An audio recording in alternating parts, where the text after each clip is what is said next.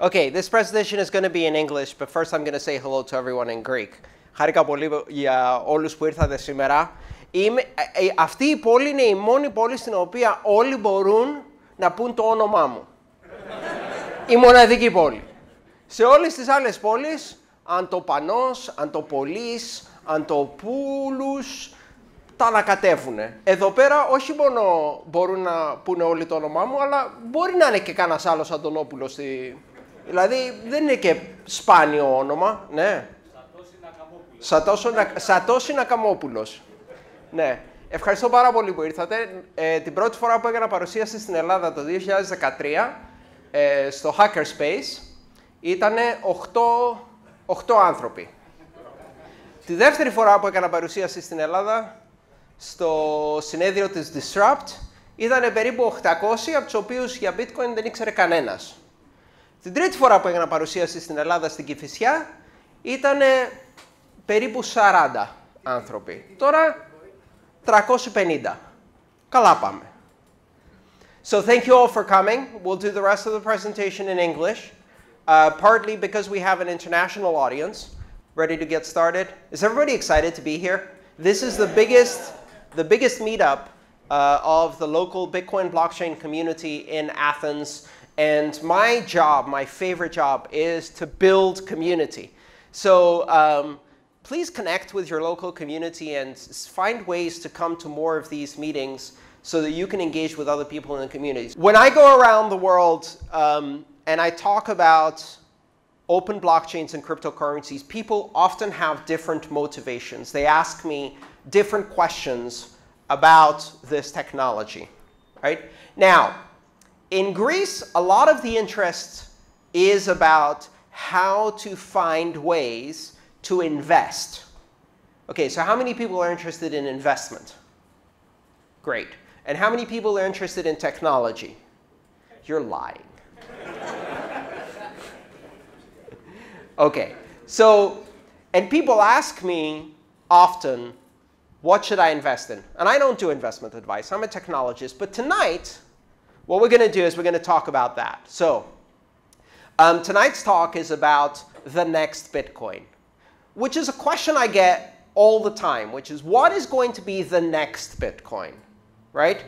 And sometimes I get asked what is going to be the next Ethereum. Um, and so that's what I want to talk about tonight. And in order to help you, I'm going to start by telling you the answer at the beginning as a spoiler. So the next Bitcoin, which you might consider investing in, is going to be Bitcoin. but here's why. And, and this is important to understand. A lot of people are looking for an opportunity to invest in something that did what Bitcoin did since 2009 they're looking for an opportunity to find the next thing that's going to be super successful, that's going to maybe do uh, 10x or 100x in its price. Not going to happen. And the reason it's not going to happen is because Bitcoin was created and born in very, very unique circumstances. So what are those circumstances? Um, some people call this Bitcoin's virgin birth, the immaculate conception, right? Uh, which I'm sure is blasphemy, especially in Greece, but that's OK. So what do we mean by the virgin birth of Bitcoin? You got to realize that back in 2009 when Bitcoin was launched, and if you went to anyone and you said, hey, how about instead of governments doing money, the internet does money. And everybody was like, yeah, that's, that's never going to work. That's no, that's, that can't work, no. Um, and then if you explain, no, but it's a really interesting algorithm. Um, first of all, most people, when they hear the word algorithm, they automatically switch off, right? Unless they're computer scientists. You say algorithm, they're like, there must be someone else at this party I could talk to. because this person just said algorithm. So like we're not there. If you say it was very interesting, like it's a decentralized system that allows you to create a monetary supply of deflationary assets that's distributed in a fair method through proof of work consensus. And then at that point, they're really like, there must be someone else at this party I can talk to. So you got to realize in 2009, nobody believed any of this shit could actually work, which is why it did. Because if you believe it works, what are you going to do? If you actually believe this thing is going to do 10x or 100x, it's going to increase in value 100 times, what are you going to do? You're going to sell everything you have and buy this thing. And then when it becomes 100 times bigger, you're rich, you go home, you retire, I don't know, right? You go to better parties. And if you know that, then everybody does it. And if everybody does it, then it doesn't happen, right? One of the most guaranteed ways you know that this technology is in a bubble is when people you haven't seen since high school call you up, like me, and they're like, hey, Andreas, remember me? no, not really. Remember me? Um, is this a good time to buy Bitcoin? I heard that the price, yeah? Is this a good time? No. If you're calling me for the first time in 28 years to ask me, this is a clear indication to sell, probably. Like at this point, I, am beginning to think I should sell because if it's beginning to attract your kind of people who had no interest, you know, the same people who called me crazy two years ago, now's the time to get out. This is what happens with markets. If too many people think that it's a sure bet, you're dealing with suckers, right? And as they say in poker, if you can't tell within 30 minutes who the idiot at the poker table is, you're the idiot, right? So if you're like, no, this is a sure thing, I've told all my friends about it, everybody believes me, you're like, okay, now is the time to get out. And I really advise people again and again and again invest in understanding the technology, invest in skills, invest in education, invest in knowledge. Because knowledge doesn't lose 40% of its value in a weekend. Knowledge doesn't crash Knowledge doesn't get hacked by the latest group of hackers. Knowledge doesn't get banned by the government or whatever announcement. Knowledge is not tweeted about by President Donald Trump as happened today. Bitcoin got tweeted about by President Donald Trump today. Yeah. He said it had no value and is probably used by criminals. I'm sure he asked some of his friends. Um, so the bottom line is knowledge and education is an investment you can make that will last. And even if Bitcoin fails, the knowledge and education you get from Bitcoin doesn't go away, right? But anytime I tell people that, they're like, yeah, yeah, okay. Um, but what should I buy? No, you should educate yourself. Yeah, yeah, but what should I buy? Um, and that's the problem right? Because if you have an indication of something you should buy, you shouldn't really go buying that, okay? And if you need to ask someone else what you should buy, that means you don't understand the technology well enough to make that decision on your own. Are you confident enough to say, I think this technology has some unique differentiation, good market fit, the timing is right, the momentum of the market, the liquidity is there. Like if you understand all of that, then okay, you're qualified to make that decision on your own. And if you're not qualified to make that decision on your own, you really shouldn't be investing in this thing, right? So is it an investment or not? And what is the next Bitcoin? And that's the fundamental problem, because there is no next Bitcoin. Bitcoin was able to achieve what it achieved because nobody for three or four years believed that this thing could work. That's why it did what it did. When you see someone investing in a technology that every single person around them think is insane, and then they make a hundred times a return on their investment, the reason they made a 100 times return on investment is because everything, everyone around them thought they were insane. They were taking an enormous risk. right? I'll tell you about the first time I bought Bitcoin. Okay? So I had known about Bitcoin for almost a year. And I was reading all of these scientific papers, and I was trying to understand how it worked. And it was very interesting to me as a computer scientist. I was very interested in the technology, but I also wanted to try to use it. So in order to try to use it, I needed to buy a tiny amount of Bitcoin. So I, my comfort at that point was I need to buy like $100 worth of Bitcoin. So in 2012, I decided I'm going to buy $100 worth of Bitcoin. Now, in order to do that, I had to go to a grocery store to use a service called MoneyGram, where you stand in front of a red telephone in America and you call someone so they can charge your credit card to transfer money. And this is used mostly by poor people who don't have a bank account in order to pay their bills. So you put cash in the machine or you give cash to the person at the grocery store. And once they verify that, they send that cash so you can pay your electricity bill or your telephone bill. It's used by people who don't have bank accounts. I use that service to send $100 to an exchange in Japan, which was the only exchange that existed for Bitcoin at the time, called Mt. And if you know anything about Mt. Gox, you know all of the horrible things that happened after. But they didn't happen to me at the time, because I actually managed to buy some Bitcoin that way. Every single person in my life said that I was crazy. Not only that I was crazy, but that I had lost all of my money, which I was OK with.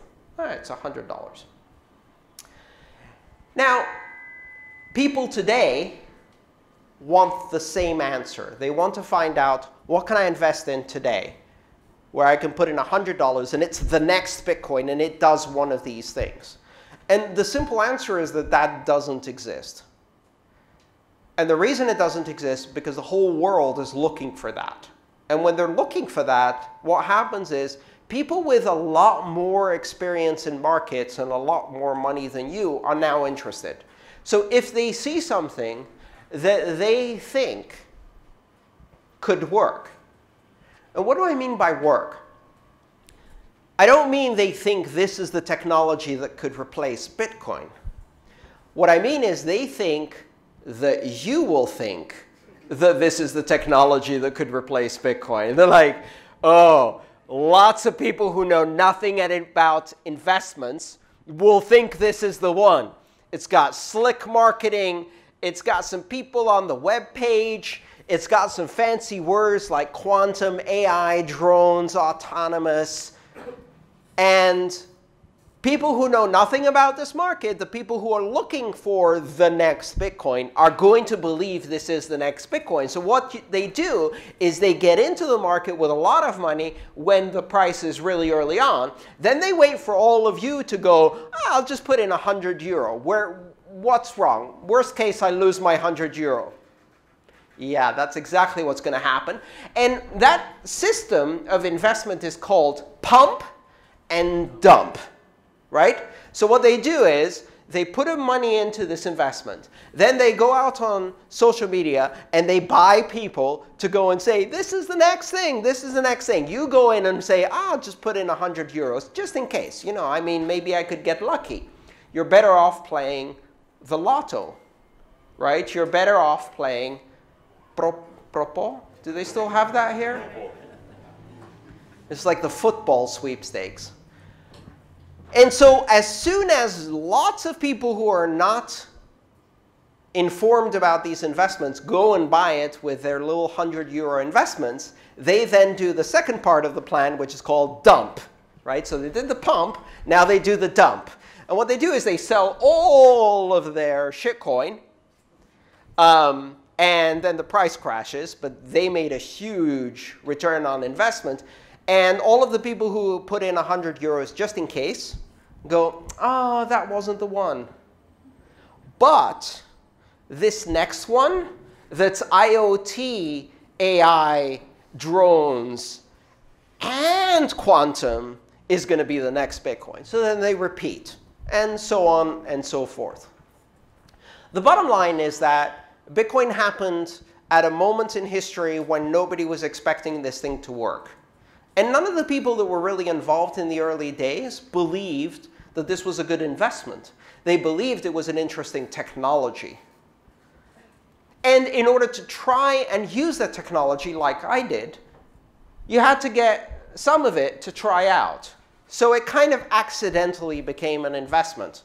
And by the way, if you think that story starts with, and then I went to the grocery store and I picked up the red phone and I bought Bitcoin at $2 and then I became rich, right? That's not how it works. That's exactly what happened. I bought $100 worth of Bitcoin. Each Bitcoin was $2, so I bought like 50. Next week, I bought another 50, right? And then you're like, oh, yeah, so, uh, wow. This is how it actually works. Three months later, it goes from $2 to $8. And I go, yeah, score! I quadrupled my investment. Which means that now if I sell my $200, I have 800 fucking dollars. I can buy an Xbox. So I sold it all and bought an Xbox. and this keeps happening again. That this has happened to everybody who's gotten involved because it's very easy to think, oh, I would understand immediately that this investment would go to like thousands of dollars. But if you told me in 2012, oh, it's $2 now, but in 2019 it's going to be $13,000, I'm like, yeah, right. That's never going to happen. And if I told you today, let's do the same experiment. If I told you today, in three years it's going to be $150,000, how many of you think yes? Yes. OK. That's unrealistic. That's totally unrealistic. It might happen right? But it might not. And do you take that kind of risk? Do you take the risk in January to say, oh, it's 3,000, it's been crashing for two years straight, now's a good time to buy? Everybody thinks they do that. The strategy seems simple. On its face, buy low, sell high. In practice, what you end up doing is a somewhat similar strategy called buy high, sell low where what you do is when everybody gets excited, you buy some. Then it crashes, then you panic, then you sell it at the lowest price, and then you keep repeating that. How do I know? Done it. Right? Who hasn't? Okay, really, who hasn't? Oh, okay, five people. Very good. So the bottom line is that we're all looking for this next opportunity, and the reason it's not going to happen is because of the unique circumstances. I like to think of this a bit by comparing it to biology, right? And if you think about biology and you understand how evolution works and how an environmental niche or area works, if there's a very successful species, right? Um, and that species finds an environment in which it is very successful. It has the right amount of food, it has no predators, etc., etc., it will dominate that environment, like dominate it. Think, for example, what happened when um, stupid Europeans introduced rabbits to Australia. And there was nothing that could eat rabbits. Rabbits everywhere, right? And then they're like, oh, let's introduce this other species that will eat that species. And then they've got too many of those. Because if you do that in an environment where there's no anything fitting in that particular niche, right? And it has no predators, and it has plenty of food, what is it going to do? It's going to fuck all day until there's lots of rabbits, right? That's what it's going to do. And then you have a, a lot of rabbits. I mean, you know, they pop out eight in every generation, which is approximately every six days. So before you know it, talk about exponential growth. Like Bitcoin has nothing compared to rabbits. The bottom line is that if you have an environment in which a species becomes successful, it dominates that environment. But interestingly enough, if you then introduce another species that is similar, but slightly more efficient or more successful, it fails completely. Why? Because that environment has already been dominated. And simply a sheer numbers mean that the new species, even if it's more efficient, cannot propagate in that environment because there's five of it and there's six million rabbits.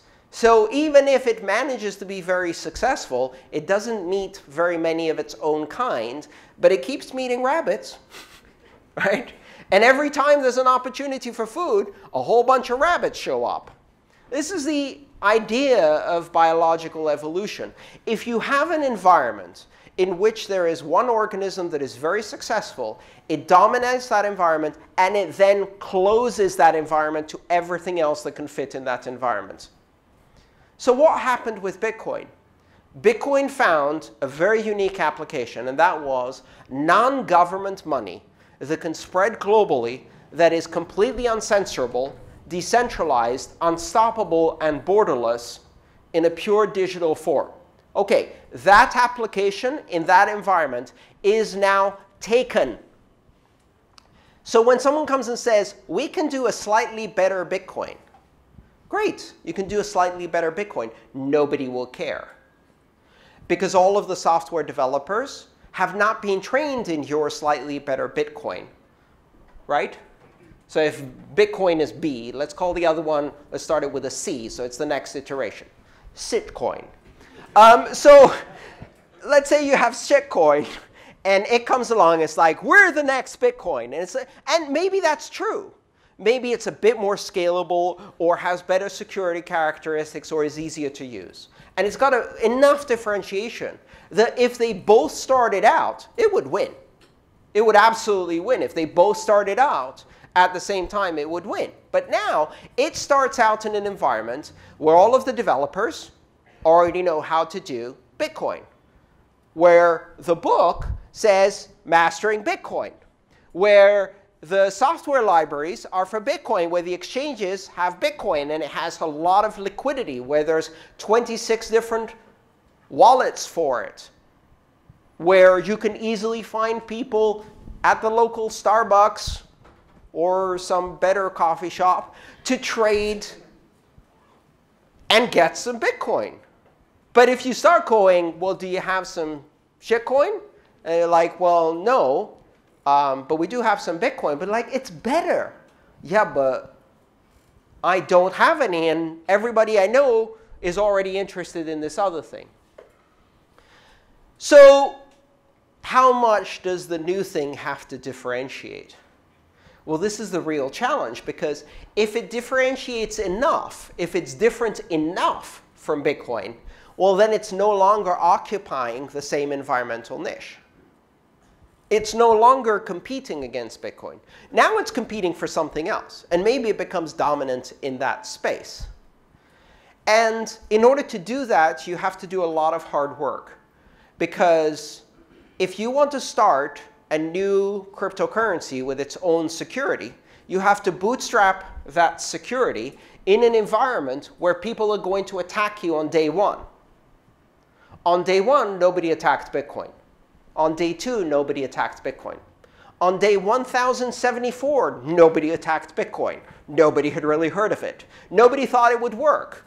On day 2500, nobody attacked Bitcoin, right?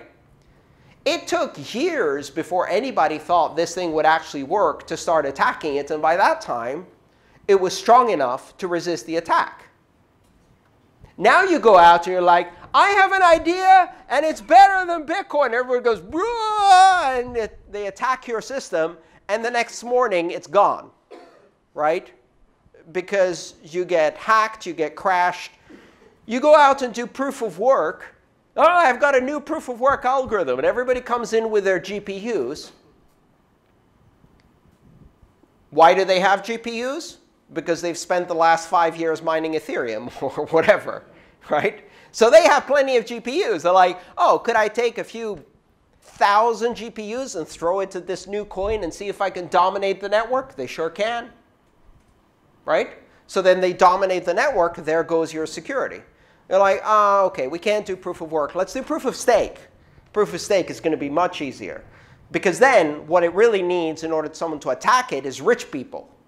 Oh shit, there's lots of them and they're all trying to break crypto now. So you start proof of stake, and who buys all of the stake? Rich people. And the only reason rich people didn't buy all of the Bitcoin in the beginning is because they thought it wasn't going to work. But if you try to do it today, they're all looking for the next Bitcoin that they can sell to you, to the people who don't know any better. I remember when Ethereum launched. And I remember receiving the email that Vitalik sent out to ask for comments. And this was in December of 2013.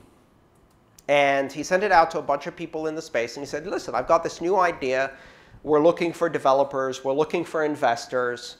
And I'd like to invite you all to read the white paper. So I went and I read the white paper. And I had one question. And this question was, why are you not doing this on Bitcoin?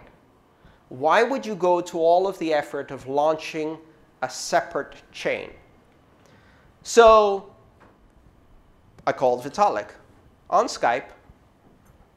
And I talked to Vitalik in his kitchen. and he patiently explained to me that he had already tried to do it on Bitcoin. He had tried to do it with what's called the Mastercoin protocol on top of Bitcoin. And he had very quickly realized that Bitcoin was too specific to work for the purpose that Ethereum was. And that you couldn't really do the same security model. And he said, I think this is general enough, different enough, and important enough that it's worth the effort to bootstrap a new security chain. It's really, really hard to do. And Ethereum was different enough that it did it. Maybe. We'll see. Right? Maybe it will work. It's not yet certain. It seems to be doing OK so far, sometimes, sometimes not so well, right? But they managed to bootstrap a new security chain because it was different enough from Bitcoin. But then the interesting thing that happened is now if you talk to people who are really into Ethereum, they're like, we can do everything, including what Bitcoin does. No, you can't. No, you can't, because all of the things you did to differentiate enough from Bitcoin mean that you're playing in a completely different environment. You're playing for the generalized, flexible smart contract space, and every choice you make for that design means you can't play in the highly specialized, highly secure, robust, we can resist attacks from governments space for the open free money of the world application that Bitcoin already fully occupies. Ethereum can't be the next Bitcoin. But the funny thing that happens next is while Ethereum people are like, we could be the next Bitcoin, some other people are going, yeah, but we could be the next Ethereum. and before you know it, everyone in Ethereum is looking over their shoulder and going, who are you? Where did you come from? Why are you coming from my application? It's OK, because they can't be the next Ethereum either, for exactly the same reason the application space for a virtual machine-based general smart contracts application platform is solidly occupied by Ethereum.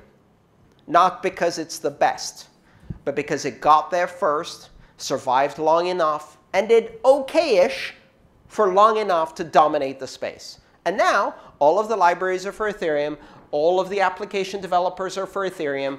And as a result, if you're trying to make your own thing to compete against that, you can't find enough attention. So there isn't a next Ethereum because that space is already taken. What does it take for one of these technologies to be replaced? What does it take for something to replace Bitcoin or to replace Ethereum?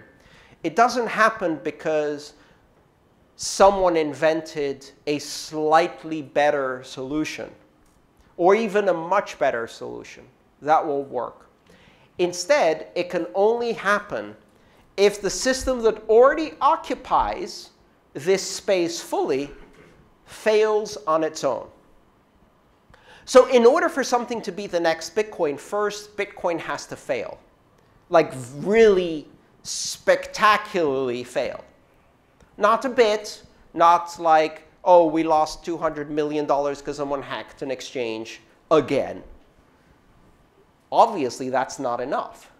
Not we've been banned by China for the 37th time, and this time they really mean it.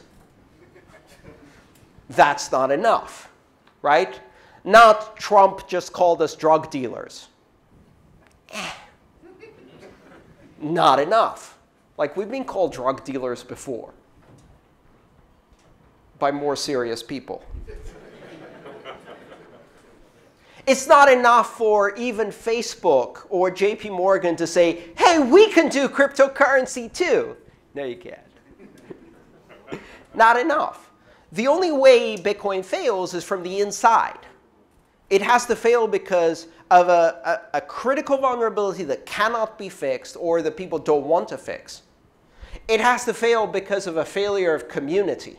It has to fail because of failure of trust or culture. And that's really difficult to do in a technology that has so many participants who have so many different motivations, different cultures, different languages, different operating systems, different software platforms, all collaborating around one core basic set of ideas.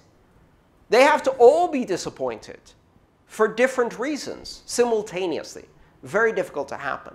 And for the same reason that if you want to find the next Ethereum, first, Ethereum has to fail at being the current Ethereum in order for something else to pop up. Now, this is both good news and bad news. If you're trying to push the next shitcoin, it's bad news. Because I'm sorry to tell you, you don't have the next Bitcoin or the next Ethereum.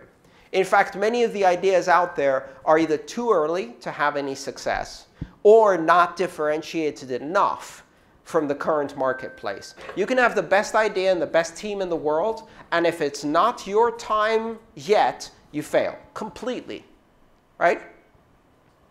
Some people say, you know, but look at Facebook or MySpace or Google. Google was the 21st search engine.